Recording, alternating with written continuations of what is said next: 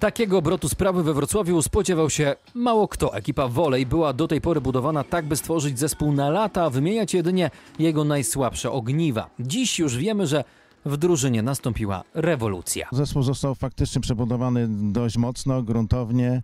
E, tak naprawdę to pozostało z poprzedniego sezonu, e, pozostały cztery zawodniczki, także to tak naprawdę możemy oczekiwać no, gruntownej przemiany, gruntownego mm, przebudowania zespołu. Zmiany po to, by grać lepiej i wygrywać większą liczbę meczów. O co więc w tym sezonie będą rywalizować wrocławskie siatkarki?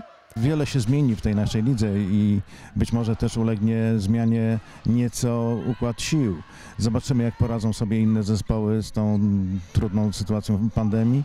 I no my oczywiście robimy wszystko, aby ten zespół nasz, y, który budujemy, mógł grać o trochę wyższe cele niż w poprzednim sezonie. Chcielibyśmy, aby to były, były pier była pierwsza ósemka, czyli playoffy. Trenerem zespołu pozostanie Wojciech Kurczyński. Tu prezes nie zdecydował się na zmiany. Będzie natomiast nowy drugi szkoleniowiec. Drugim trenerem będzie Dawid Murek, który no, dał się poznać kibicom przez wiele ostatnich lat jako doskonały, wybitny siatkarz. Jest to na pewno jeden z najlepszych siatkarzy w ostatnich latach w kraju.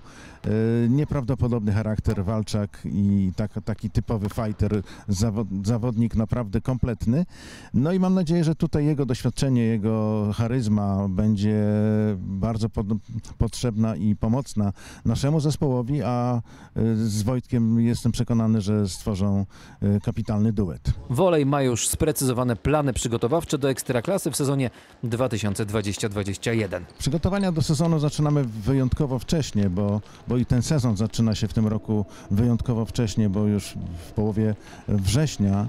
Natomiast wcześniej będzie nowy twór, e, będzie takie letnie Grand Prix.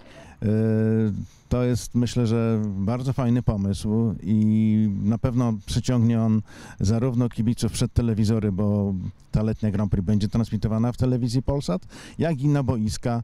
E, Areny tych e, zmagań to będzie Kraków, Warszawa, Gdańsk. W Gdańsku będzie finał, wcześniej będą dwa półfinały.